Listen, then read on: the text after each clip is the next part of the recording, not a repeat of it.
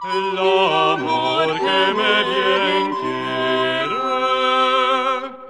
ahora viene. El amor che possiamo cominciare. Intanto devo dire che sono molto contento di tornare finalmente in presenza senza restrizioni, senza vincoli e vedere che la sala è sufficientemente piena, la cosa mi tanti soci che non vedevo da parecchio tempo, vedere persone che non ho mai visto e quindi mi rallegra molto. Non vi rubo, non rubo tempo in chiacchiere perché abbiamo tutti voglia di ascoltare cosa ci raccontano della peste nera, tanto per rimanere in clima pandemico e a parlarci di questa, di questa peste nera l'occasione è data dall'uscita freschissima di questo volume pubblicato da Carocci di Alberto Longo al centro, eh, al centro anche della nostra attenzione, e coadiuvato da Maddalena Mogli, Moglia dell'Università degli Studi di Milano e da Vittoria Bufagno dell'Università degli Studi di Firenze. Quindi io direi che lascio subito la parola ad Alberto che si occuperà anche di coordinare le sue colleghe. Grazie a tutti e buon ascolto. Eccoci, grazie a tutti per essere qui, e grazie a Italia Medievale, Maurizio Tagli per questa eh, gentile opportunità di poter presentare il libro. Eh, in realtà appunto ho voluto chiamare due colleghe e due amiche per aiutarmi appunto a questa, presentazione, quindi direi senza ulteriori mh, indugi eh, lascio subito la parola a, a Maddalena Moglia che inizierà questa eh, presentazione, barra dialogo insomma, tra, tra di noi su, su questo argomento, la, la, peste nera appunto relativa al, al libro. Prego. Eh, grazie, buon pomeriggio a tutti. Eh, innanzitutto anche ci tengo a ringraziare molto Maurizio Cali, eh, Italia Medievale, gli organizzatori, e Alberto per avermi chiesto insieme a Vittoria di, di presentare il suo ultimo libro. E, ma io comincio subito dicendo che questo è un libro importante, Beh, innanzitutto perché il tema di cui tratta, la peste nera, essendo un'epidemia, porta con sé tutta una serie di domande sulle sue cause, sulle conseguenze, su come ha cambiato la società, che sono domande tornate molto attuali per noi oggi, per il periodo di, di, di pandemia che, che, abbiamo vissuto e, e che stiamo vivendo. La peste nera è stato un evento davvero periodizzante per la storia del nostro continente, come poi Alberto spiega bene nell'ultimo capitolo, che è un po' anche la conclusione di questo volume. E, e è un libro importante perché eh, di fatto è la prima sintesi sulla storia della peste in Italia. Eh, ovviamente la peste è stata, proprio perché è stato un evento eh, drammatico e periodizzante, eh, è stata trattata in tantissimi studi, anche per l'Italia, ma in questi studi la peste non era mai il centro delle analisi, ma rientrava, eh, portava con sé altri problemi o comunque un po' forse si perdeva nel quadro diciamo, più generale della, della crisi del 300 accanto alle guerre, alle carestie, eccetera. E questa invece è proprio la, una, la prima sintesi che ha uh, al centro l'Italia. E la peste ehm, in Italia è veramente analizzata in questo volume a 360 gradi se scorriamo l'indice eh, dei dieci capitoli, vediamo che eh, sono presentate di fatto tutte le dimensioni della peste, sia quelle legate proprio alla natura dell'epidemia, quindi sono presentati anche gli studi scientifici più aggiornati, ehm, e poi tutte le altre dimensioni, quella politica, quella economica, eh, la dimensione letteraria del problema della peste. Eh, e tutte queste sfaccettature che analizzano la peste del 300 in Italia eh, mostrano davvero qual è la complessità di questo, di questo tema. Eh, questa complessità emerge bene se guardiamo per esempio a come le società reagiscono all'epidemia. E, ehm, e qui Alberto mostra benissimo come a seconda delle fonti che noi eh, guardiamo, interroghiamo, ci si aprono scenari molto diversi. Per esempio, proprio sul tema di come la società reagisce alla pandemia, ehm, se partiamo da, da, dalle fonti letterarie, quindi dai, dai poeti, eh, uno, il primo su tutti Boccaccio, ma nel testo sono presentati anche tantissimi altri autori, vediamo che in queste fonti, in queste cronache, eh, che cosa emerge? Lo scenario che ci si apre è quello di una società allo sbando, eh, una società divisa tra eh, egoismi o eh, persone che si danno ai piaceri più sfrenati per dire, contrastare questa situazione di morte e dall'altra parte vediamo come eh, le persone fuggono, i malati sono lasciati da soli, senza i conforti religiosi. Però, e quindi appunto vediamo una società in cui i legami familiari sono spezzati. Alberto però ci, ci fa capire bene, mm, bisogna stare attenti quando guardiamo alle fonti, perché ci dice, attenzione, questi, lo scopo di questi autori, di questi letterati, non è tanto quello di presentarci quella che era davvero la, il comportamento sociale di fronte all'epidemia, ma è quella di mostrare tutta la sua drammaticità. Per cui anche attraverso il recupero di schemi narrativi eh, provenienti anche dalla letteratura precedente, è appunto quello che si vuole mettere in primo piano proprio il dramma della, della peste. Se guardiamo altre fonti, eh, davvero a me è sembrato proprio che l'autore Alberto ci accompagnasse il lettore per mano in questo lavoro, no? per svelare pagina dopo pagina la complessità da un'altra prospettiva ancora diversa. E vediamo per esempio, se guardiamo gli atti pubblici, come le autorità eh, cercano di stare di fronte eh, a questa epidemia e vediamo che appunto ci sono tutta una serie di provvedimenti, alcuni di carattere amministrativo. Loro non avevano le conoscenze mediche che abbiamo noi oggi, però su una base molto empirica osservavano che eh, se il contagio eh, dire, si diffondeva con la vicinanza fisica, per cui si cerca di evitare gli assembramenti, vengono chiuse le taverne. Accanto a questo tutta una serie invece di anche di eh, provvedimenti molto tecnici, la scelta del, dei luoghi di sepoltura, la dimensione delle fosse, quindi tutta una serie di provvedimenti amministrativi, ma anche da parte dei, dei governi e delle autorità pubbliche anche eh, provvedimenti di tipo religioso. Eh, questa è una società dove ehm, dire, eh, era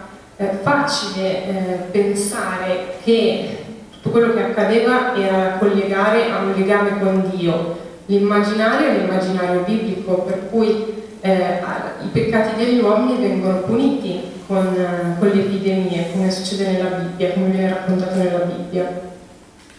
E quindi ai, i governi, eh, le autorità pubbliche non vogliono dire, solamente ehm, cercare di, non guardano alla salvezza dei propri cittadini solo attraverso provvedimenti civici, ma anche attraverso provvedimenti che, eh, religiosi.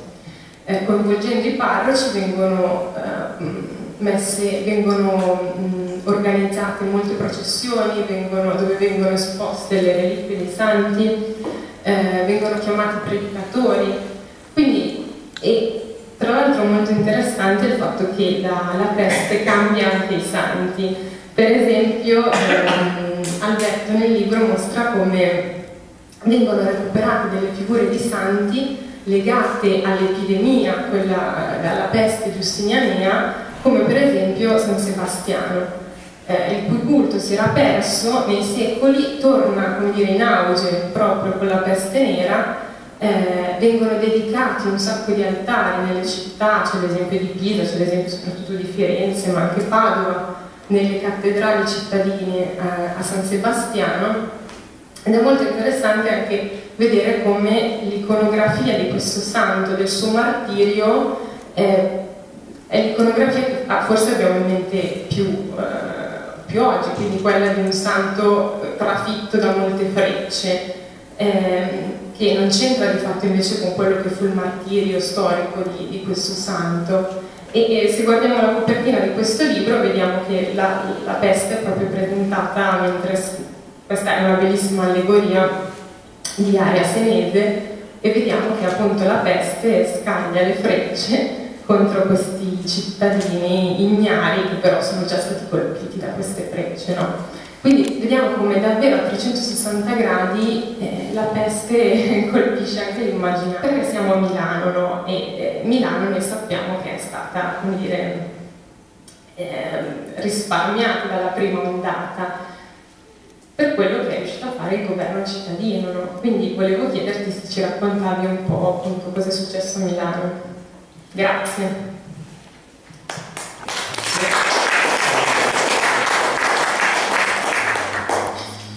Allora sì, eh, tanto grazie per, per questa così, introduzione, per questa domanda, che in effetti è una domanda abbastanza interessante perché eh, appunto noi sappiamo che Milano eh, sembra risentire molto meno rispetto che appunto al resto d'Italia eh, dell'arrivo della prima ondata di peste, cioè quella del 1348. Ehm, poi la successiva nel 1361 invece la prende in pieno e quindi diciamo l'appuntamento con lo spopolamento della città è rimandato solamente di eh, insomma, poco più di dieci anni. Eh, effettivamente sono molto poche le aree d'Europa caratterizzate da questa, da questa scarsa efficacia del, del, batterio della peste. Ed è eh, un, dice, un, problema interessante provare a capire perché, perché appunto giustamente Maddalena accennava ai provvedimenti del, del, del Comune di Milano, che noi conosciamo soprattutto sulla base di alcune cronache, eh, peraltro la maggior parte di estrazione non milanese, non lombarda, quindi anche, sono, anche, questo è un problema diciamo, interessante da affrontare. Eh, e poi soprattutto dobbiamo fare i conti per tentare anche di, dare una spiegazione, che appunto non, è semplice, eh, perché come diceva anche prima Maddalena, Milano non è l'unica città a tentare di prendere dei provvedimenti, però appunto città invece eh, soffrono tanto eh, del, del, del, contagio, mentre invece Milano sembra appunto non soffrire della prima onda. E quindi dobbiamo un po' interrogarci su come funzionava questo contagio, hm? eh, su come arriva proprio tecnicamente la peste eh, in Europa e prima di tutto in Italia, l'Italia è la porta d'ingresso del, del batterio in Europa. Eh, ecco, molto brevemente, mh, anche qui sull'arrivo della peste in Europa, mh, ultimamente sappiamo alcune cose nuove grazie ad alcuni studi molto molto recenti. Eh, fino a poco tempo fa, probabilmente qualcuno di voi l'ha sentita questa storia, si dava retta a un, a un resoconto di qualche anno posteriore eh,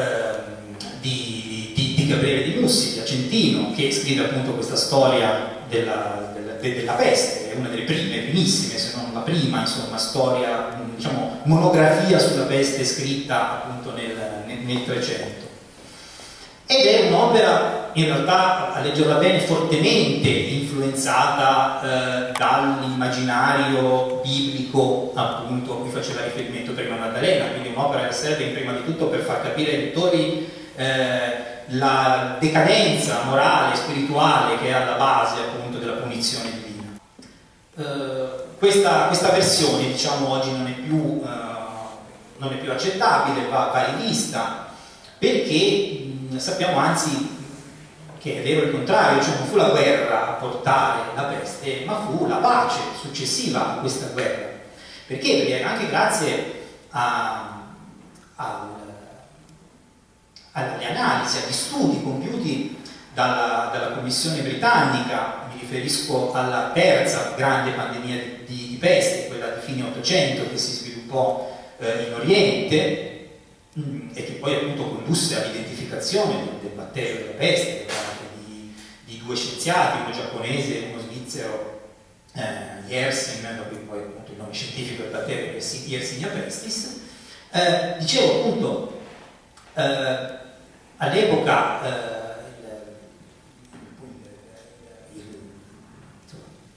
l'Inghilterra, il Regno Unito, che era responsabile di quei territori, dell'India eh, e appunto dei territori orientali del, dell'impero britannico, portò avanti una commissione d'inchiesta e già all'epoca eh, risultò centrale il ruolo dei magazzini di grano. Cioè i magazzini di grano eh, erano fortemente suscettibili di essere frequentati, diciamo così, dai topi portatori del, del batterio della peste e quindi tramite il, commer il, commercio dei grani, tramite la presenza del grano nella società, eh, il batterio veniva in qualche modo diffuso tra la popolazione, in un'epoca in cui l'agricoltura non ha i mezzi e gli standard che ha oggi. Eh. Persino la Sicilia, che tradizionalmente è un, appunto, un territorio che esporta grano in Italia, in quegli anni lì soffre particolarmente. Perché? Perché per continuare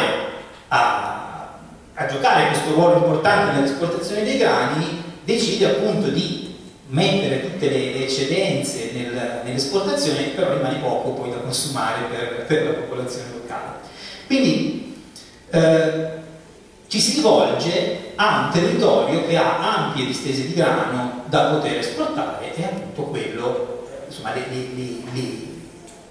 le, le, coltivazioni legate appunto alle aree circostanti al Mar Nero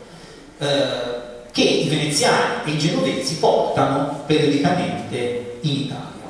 La guerra, che dicevo prima, di Caffa tra veneziani e mongoli dell'Ordador, per un po' interrompe questi commerci, da qui una certa, una certa crisi, poi però dal 1347 questo conflitto finisce, quindi ecco che riprendono in maniera ancora più massiccia le esportazioni di grano dal Mar eh,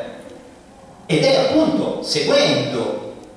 le linee commerciali del, del, di vie di comunicazione che portano i grani in Italia che possiamo avere una mappa abbastanza fedele del percorso del contagio in Italia. Quindi prima, il primo appunto, luogo di diffusione è il porto di Messina, anche qui non è sicuro se stiamo parlando dell'agosto o della fine di settembre, comunque tra l'estate e l'inizio dell'autunno del 47 arriva appunto la, le prime navi genovesi cariche di grano arrivano a Messina e l'epidemia si, si, si, si, diffonde in tutta la Sicilia in maniera anche abbastanza rapida. E poi pian pianino dagli altri porti, Napoli, Genova, Venezia, Pisa, questa epidemia entra dentro appunto, eh, la penisola italiana. Perché Milano no? O molto poco? Perché? Perché Milano, da una parte appunto, tempestivamente, essendo appunto al centro no, della pianura padana, quindi in qualche modo, non, parliamoci chiaro, non solo Milano, ma anche tante altre città eh, non, non, vengono colte completamente impreparate, cioè arrivano le notizie che a Genova, Pisa, Venezia, nei porti questa malattia sconosciuta e fortemente contagiosa e fortemente mortale si sta diffondendo. Quindi mh, mm, non è che le città più dell'entroterra fossero completamente ignare di quello che le aspettava. Mh? Quindi, come vi dicevo, molte città tentano di prendere provvedimenti per tentare di limitare i danni, perché di quello mh, non, non si può. Milano lo fa in maniera abbastanza vigorosa, eh, si, si chiudono eh, e si, e le, le, case de, degli appestati e si dà subito fuoco a, appunto a, a strutture, a case, a, a, vestiti, a tutto ciò che entra in contatto con, con, in contatto, con appunto gli ammalati, si chiudono le porte, c'è proprio una chiusura eh, delle mura eh, molto molto forte, si tenta appunto di limitare il più possibile i contatti con l'esterno, sono misure molto molto forti che evidentemente mh, funzionano. Dall'altra parte però non posso fare a meno di, di, pensare, dato appunto quello che sappiamo oggi sul, su questa questione del grano che vi dicevo, che Milano in realtà, e questo deriva anche da, da studi che abbiamo fatto con, con Maddalena e Vittoria su, su, un periodo precedente, ma comunque eh, significativi, Milano è una città che sta dentro una delle aree assoluto più fertili eh, d'Italia ed è una delle città che grazie a tutta una serie di accorgimenti legati appunto all'irrigazione, pensiamo al Naviglio, pensiamo a tutta la rete di rogge, mulini che eh, si diffonde appunto per, per gran parte del, del contato milanese della pianura padana, è diciamo, una città che probabilmente ha meno bisogno di importare grano da fuori. Quindi la prima ondata, che, quindi probabilmente c'è anche da aggiungere questo aspetto per eh, tentare di capire perché Milano soffra un po' meno rispetto a, eh, alle altre città per quanto riguarda la prima, la prima ondata. La seconda ondata non dobbiamo più pensare al commercio del grano come primo vettore di contagio, perché nel frattempo, appunto grazie per colpa anzi della prima ondata, il, il batterio della peste è diventato endemico, è diventato endemico molto probabilmente secondo studi, ipotesi anche molto recenti, fra popolazioni di roditori di varie zone, per quanto riguarda le Alpi si è parlato della marmotta alpina, e quindi ecco che nel momento in cui l'epidemia si trasferisce dagli animali, dai roditori agli esseri umani, ecco che in quel momento diventano eh, gli esseri umani vettore di, di, di, contagio e quindi l'essere inseriti in una appunto, struttura, eh, in, una, in, una, in, una, rete commerciale importante, Milano era il centro commerciale della, della, della, del, del, nord Italia, insomma, da una parte c'era Genova, dall'altra c'era Venezia, quindi c'era tutto, tutto un movimento di, persone, ecco che nel 61 anche a Milano eh, eventuali normative falliscono. Eh, si immagino abbia qualcosa da dirci su questi, su questi, ambienti, su questi argomenti. Buon pomeriggio a tutti, eh, ringrazio anch'io chi ha avuto l'idea di organizzare questa presentazione e anche Alberto per aver scritto questo libro e averci dato l'opportunità di leggerlo, commentarlo oggi, insomma, forse prima di tutti, non so, è la prima presentazione lo diciamo. Ehm, lo ringrazio anche se quando ho accettato questo invito non sapevo quanto sarebbe stato difficile perché come ha detto anche prima Maddalena è un libro molto denso che nel senso che ehm, analizza questo argomento molto attuale, molto bello, da tantissimi punti di vista. Allora eh, per chi lo presenta trovare, visto che non abbiamo 5-6 ore, potrebbero essere necessarie, trovare, individuare dei punti di interesse è stato difficile, ci ho provato in questi appunti che sono qui e quindi ecco per dire che sarà, toccherò alcuni punti e sarà una presentazione parziale, poi il libro lo dovete leggere se volete e vi invito a farlo veramente. Ehm, parleremo un po' di economia, di quello che succede ehm, dopo l'arrivo della peste, della risposta dell'economia, della risposta degli uomini Vorrei però partire con una premessa importante secondo me, per, qualche, per almeno due motivi se non tre. Che questo libro è stato pensato, perlomeno da Alberto, prima dello scoppio del, diciamo, della pandemia dei nostri tempi, no? prima dello scoppio dell'epidemia in Cina, che sono state fatte in merito allo studio di questi ultimi anni, ma nei dieci anni passati, sullo studio della peste ehm, medievale, sullo studio della peste medievale, che ha una grandissima importanza sia per la comprensione della storia dell'umanità, ma forse anche per capire i meccanismi di, di epidemie contemporanee, no? anche prima di quella appunto che abbiamo vissuto, che abbiamo vissuto noi. E tra l'altro da questo, mm, da questo punto di vista, eh, ad esempio il lavoro del paleontropologi ha dato delle, mm, e poi anche il lavoro degli storici, delle interpretazioni eh, interessanti, io sono molto contenta che le abbia indagate da questo punto di vista Alberto, sulla presunta democraticità della peste, nel senso che eh, la peste è sempre medievale, eh, è sempre stata vista come, mh, mm, come se si fosse abbattuta in maniera indiscriminata sulla popolazione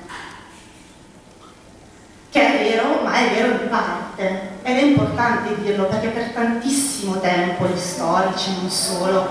hanno, si sono concentrati su questo punto. E da una parte anche naturale, nel senso che in un mondo medievale visto come il trionfo del, del, della disuguaglianza, se possiamo dire, perché spesso la storiografia l'ha descritto così, e lo era probabilmente, un po' come tantissime altre società, forse anche la nostra è un po' basata sulla disuguaglianza. Quindi in un mondo medievale che si vedeva eh, buio, basato sulla diseguaglianza, era rassicurante il fatto che un grande fattore esterno a quello dell'uomo fosse arrivato come una livella, che era Totò che diceva la morte una livella, no?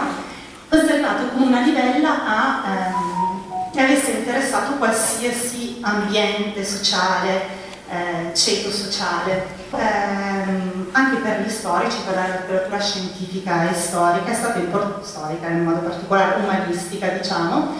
ehm, la peste è sempre stata indagata con, con grande interesse, è vero senza eh, forse mettere al centro la peste, ma utilizzandola, prendendola anche in maniera tangenziale a volte per eh, descrivere delle, delle grandi tendenze dell'economia, ad esempio, e perché è proprio stato visto come mm, un momento spartiacque. Eh, ci, sono stati eh, dei grandissimi dibattiti storiografici sulle motivazioni dell'arrivo della peste, le sue conseguenze. Possiamo citare, ehm, senza annoiarvi con tecnicismi, però c'era chi, ad esempio, capitanato diciamo, da, da Postan, questo studioso inglese che riprendeva le teorie malthusiane, eh, dava al, alla peste un, un risvolto diciamo, di riequilibrio dello scontro che, che, alla quale si era arrivato alla fine del 200, dove un grandissimo sviluppo demografico aveva portato uno squilibrio fra popolazione che viveva nell'Europa diciamo, medievale e risorse disponibili, quindi con la grande depressione demografica invece avvenuta con l'arrivo della peste questo equilibrio si era ristabilito. C'era chi, come Hilton, ehm, diciamo, della corrente neomarxista, possiamo dire, vedeva nell'arrivo della peste un acceleratore del deteriorarsi di un particolare modo di produzione, come appunto il modo di produzione feudale. C'era anche chi, economisti e storici, si, sono, si è interrogato su mh, mm, cosa è successo all'indomani della peste, cioè ci si ritrovò in un mondo migliore o in un mondo peggiore, con più o meno opportunità per gli uomini medievali, opportunità sociali, di mobilità sociale, opportunità economiche. Che mondo era uscito, eh, essendo stato attraversato da questa, da questa um, tragedia? Tra questi appunto se dobbiamo stabilire queste due mh, contrapposizioni, due storici, Ruggero Romano da una parte ne, ehm, ne diciamo, individua, eh, ne sottolinea quegli aspetti negativi, no? parla di un'instabilità economica dopo, dopo, gli anni della peste, un congelamento della mobilità sociale, questo è un tema perché ehm, diciamo fine, durante il 200, alla fine del 200 eh, sono stati molto studiati dei percorsi di mobilità sociale, quindi in un'economia eh, nell'economia florida del 200 era erano possibili dei percorsi di ascesa sociale, no? attraverso l'eredità ecco, si, si, si, avevano patrimoni maggiori, eh, c'era una concentrazione dei patrimoni, si crearono anche nuove opportunità eh, imprenditoriali dovute anche a una nuova struttura dei consumi, perché è, ehm, è un fatto, è evidente che queste nuove fortune di, eh, di alcuni uomini eh, che forse prima vivevano alle soglie de della sopravvivenza per il rialzo dei salari, per l'eredità che avevano ricevuto, questi potevano ehm, accedere a beni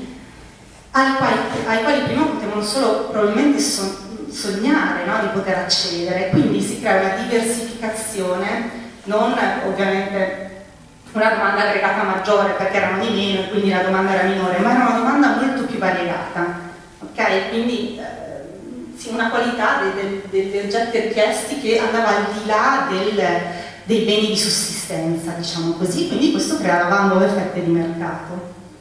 C'erano però anche dei risvolti negativi perché in realtà l'aumento dei salari, ad esempio, andò di pari passo a un certo punto in poi con l'aumento dei prezzi e quindi eh, diciamo si andò in realtà a creare un nuovo equilibrio non molto più fortunato rispetto a quello di prima, un nuovo equilibrio fra prezzi e salari. E inter- ci, sono, ci, sono, stati anche degli interventi molto forti da parte dei governi in merito a questo, in merito non solo a fissare i prezzi dei generi alimentari, ma anche a fissare i salari, a cercare eh, di bloccare poi di bloccare il mercato del lavoro, poi non, non sempre è possibile, perché fra la teoria o gli atti insomma, amministrativi di governo la pratica ce ne passa, però quindi una fortuna solo momentanea. Inoltre, mm, diciamo, anche per quanto riguarda l'eredità dei patrimoni, dipende cosa uno eredita, può ereditare proprietà, può ereditare crediti e, eh, fare, e questi fanno la loro fortuna, si possono ereditare debiti, debiti che con un'economia all'inizio che era probabilmente in stagnazione è difficile, è difficile ripagare del credito anche è un'altra parte molto importante, secondo me, del libro di Alberto. Ehm, sulla questione debiti e crediti bisogna fare una premessa, nel senso che noi non ci dobbiamo immaginare un mondo, ci dobbiamo immaginare un mondo alla fine del 200 in cui anche i piccolissimi risparmiatori, per vari motivi, anche per la crisi di liquidità che stanno attraversando i comuni, le, le città italiane in questo caso, alla fine del 200 anche i piccolissimi risparmiatori potevano trovare convenienza nel, ehm, nel prestare del denaro, anche piccolissime somme di denaro, quindi non, non, solo a chiedere dei crediti ma anche dal prestare del denaro. Quindi eh, in poche parole la questione del credito, eh, dei crediti dei debiti, dei crediti era una cosa che permeava tutta la società, non solo i grandi imprenditori, i grandi investitori, ma anche anche la, la, la povera gente no? che aveva poco da investire o comunque da poter fare credito lo faceva. Quindi diciamo che era un sistema in cui molto intrecciato di debiti e crediti che coinvolgeva tutta la società. Eh, gli sconvolgimenti della peste mettono a soqquadro questo, questo quadro. I creditori per la paura del, del momento um, di disordine che stava che li stava coinvolgendo iniziano a chiedere eh, i crediti, di, di, di, iniziano a riscuotere velocemente eh, i crediti, no? E quindi alcune famiglie si trovano in estrema difficoltà eh, per riuscire a ridare questi crediti. Quindi mh, eh, mm, ci sono tanti aspetti e un'altra cosa importante di tutto questo che sembra eh, un quadro complicato lo è, è complesso, bisogna ehm, diciamo, restituire la complessità che merita anche la società che stiamo indagando. E un'altra nota di, di merito all'Alberto è che fa tutto questo rendendo il suo libro popolato. Questo libro è un libro abitato, è abitato da uomini, da donne, da giovani, da giovani figli e figlie, da vicende familiari, di famiglie artigiane, da famiglie di imprenditori, no? da famiglie aristocratiche, delle quali lui ci dona degli esempi, che non sono degli esempi per colorire il, il, il libro, sono degli esempi che sono esplicativi, che si riagganciano a quelle teorie più generali di cui spesso si è occupata la storiografia. E chiedo, e chiedo all'autore, se Barbara puoi rispondermi, ehm, qual è il, il,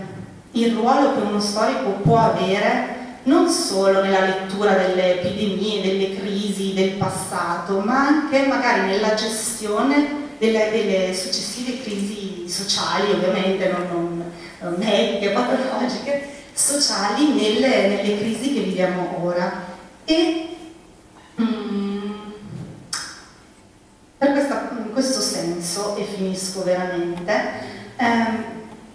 sono molto d'accordo, diciamo, volevo riportarvi anche delle parole di leggervi l'ultima pagina del libro, le ultime righe del libro, però non è un romanzo, non faccio nessuno spoiler, poi c'è qualcuno al quale magari come me piace leggersi le ultime pagine del, dei romanzi prima di iniziarli, oppure no. Comunque volevo leggere l'ultima pagina in cui Alberto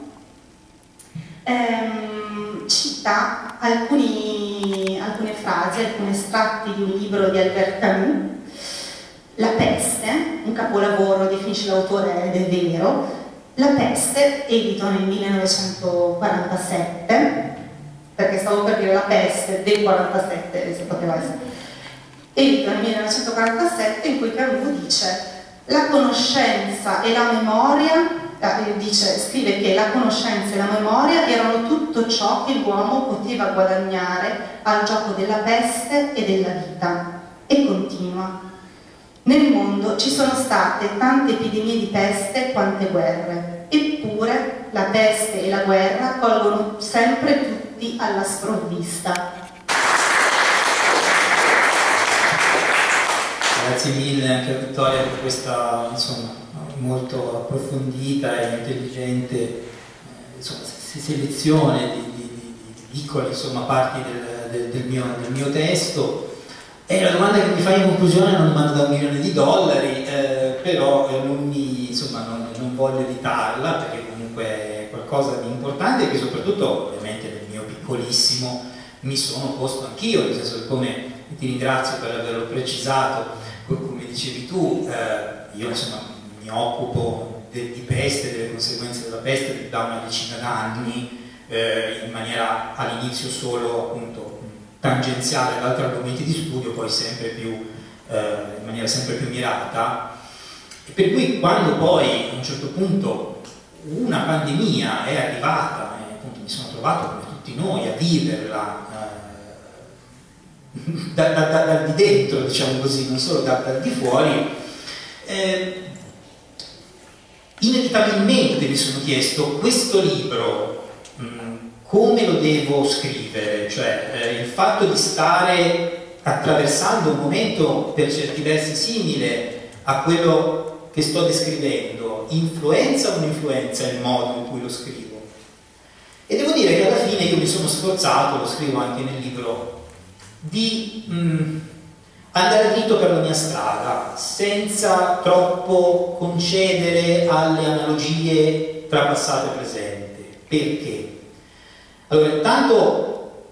i pochi colleghi medievisti che ho visto intervenire in questo biennio pandemico su, sui grandi mezzi di comunicazione spesso puntavano sull'analogia, su dire guardate le misure la quarantena, l'isolamento, l'antiassembramento sono già quelle che utilizzavano, nel 1348. Eh, oppure appunto in generale sulle testate giornalistiche, anche adesso, sia prima con la pandemia, poi con lo scoppio della guerra, ho visto spesso titoli con la storia è tornata. Eh, in realtà appunto la storia non se n'è mai andata, eh, siamo probabilmente noi che viviamo da qualche anno a questa parte in una sorta di eterno presente eh, che appunto fa, fa difficoltà a pensarci come dentro un processo storico e quindi a pensarci non solo come il risultato di un passato, ma anche e soprattutto, perché secondo me la storia serve soprattutto a questo, a vedere noi come il passato del nostro futuro e quindi ad agire in un certo, in un certo modo piuttosto che in un altro. Eh, e da questo punto di vista quindi io sono profondamente convinto che l'utilità del discorso storico, dell'approccio storico sia partire dalle differenze invece che dalle analogie. Perché il rischio è quello di prendere per analogie cose che in realtà sono inserite in un contesto completamente diverso rispetto appunto a quello che stiamo vivendo nel presente e quindi alla fine di non avere tanti strumenti per capire. L'esercizio storico è utile perché io analizzando un problema in un determinato contesto storico, poi affino le mie capacità per tentare di analizzarlo nel contesto presente, stando però prima attento alle differenze, perché altrimenti rischiamo di, eh, dire, di prendere degli abbagli. Però tenendo presente appunto la dimensione storica. Noi, noi non possiamo negare che nel momento in cui il Covid appunto è arrivato, spesso si era impreparati, perché appunto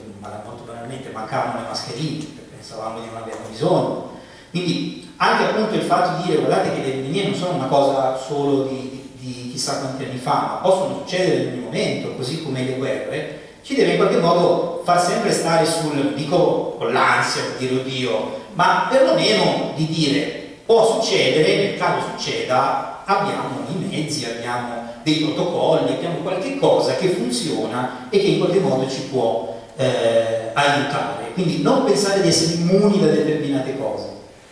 Ehm, da qui appunto il, il, un senso, no? il, la, la, consapevolezza storica del fatto che appunto viviamo, che ovviamente non si riferisce solo a questi eventi tragici, eh, parliamoci chiaro, si riferisce a tanti aspetti della realtà, ma che appunto non viviamo in una realtà statica, in un qualcosa che è sempre uguale, che non cambierà mai eh, che rimarrà sempre così. Che io non lo so, magari sbaglierò, ma penso che siano eh, pensieri che, in cui oggi siamo spesso immersi, no? Eh, le cose non cambiano, eh, eh, tanto ormai tutto va in una direzione inesorabile. spesso i discorsi che, che vengono fatti hanno un po' questa caratteristica. Invece studiare storia ci fa capire che le cose cambiano, va bene che possono, possono cambiare, i contesti sono diversi e, e, appunto da qui si può imparare molto. Gli antropologi lo chiamano il giro lungo dell'antropologia, si va a studiare le comunità appunto dei, dei, eh, dei pigmei della foresta equatoriale per poi tornare alla nostra comunità e tentare di interrogarci su quelle che sono le nostre visioni, i nostri immaginari, i nostri modi di pensare, senza ovviamente voler minimamente sminuire la tragedia che tante famiglie, tante persone hanno passato negli ultimi due anni, ma che è sempre troppa, è sempre tragica, ma appunto come si diceva prima, la peste del 1347 porta via in media un terzo della popolazione in Europa con punte del 50-70%. Noi immaginiamoci una situazione del genere, in cui improvvisamente eh, in certi luoghi una persona su due non c'è più nel giro di 3, 4, 5 settimane. Quindi abbiamo città di 18.000 abitanti come Prato che nel giro di pochi mesi si ritrova ad averne 5.000. Eh, Siena passa ad averne 50 ad averne 20.000 nel giro di un'estate. Quindi eh, appunto è vero che soprattutto nella fase iniziale, nella prima ondata, è una malattia che, come è stato giustamente detto, procede dai poveri, si pauperizza, diventa una malattia dei poveri man mano che diventa sempre più endemica. Inizialmente, è chiaro, chi vive in determinate condizioni è più soggetto a essere contagiato, ma poi appunto dai poveri arriva anche a tutta una serie di, spesso trovate letto, trovate scritto da qualche parte, è giusto, che in realtà furono pochi i ricchi e i potenti che si ammalarono di peste.